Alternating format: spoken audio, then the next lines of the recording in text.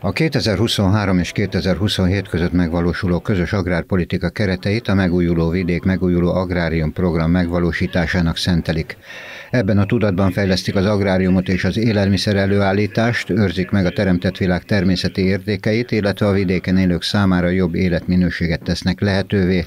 Hangzott el Székesfehérváron a nagy érdeklődés mellett megrendezett rócsón, ahol Györfi Balázs, a Nemzeti Agrárgazdasági Kamara elnöke tájékoztatta a megjelent gazdákat. A stratégiai terv tárgyalása zajlik éppen, ugye Magyarország leadta ezt a tervet, és Brüsszelben van most a tárgyalásnak az éppen aktuális szakasza. Abban bízunk, hogy ha sikeresen zárjuk ezt a tárgyalási sorozatot, amire minden szakmai alapunk megvan, hogy optimisták legyünk, akkor 23. január 1-ben valóban elkezdődik egy, egy új vidékfejlesztési program.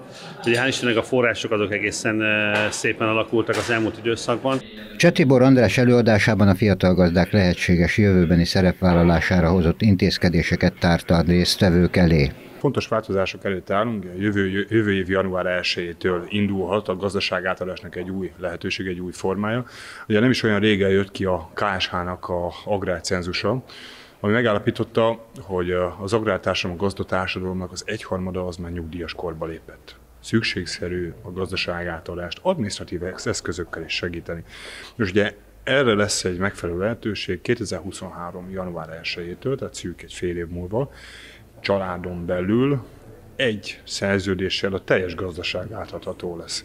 A program keretében a rendelkezésre álló források fele gazdasági fejlesztésre fordítható, harmada pedig a környezet és klímavédelemre, ami a korábbi időszak dupláját jelenti. Emellett kiemelten fontos, hogy fajsős szerephez juthassanak a fiatal gazdák is. A fiatal gazdák a következő időszakban két és félszeres mértékű támogatásra számíthatnak. A kis és közepes vállalkozások esetében plusz támogatásokat várhatunk.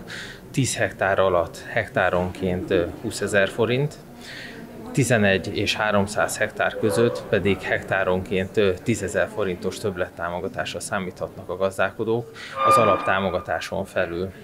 Az új teljesítési modell szerint az intézkedések sikerességét természetesen előre lefektetett eredménymutatók tényleges elérésével lehet alátámasztani, mert a program csak így lehet válasz a 21. századi kihívásokra, az erősödő nemzetközi versenyre, a klímaváltozásra, a csökkenő biodiverzitásra, az élelmiszerellátási biztonság, vagy éppen a munkaerőhiány kérdésére is.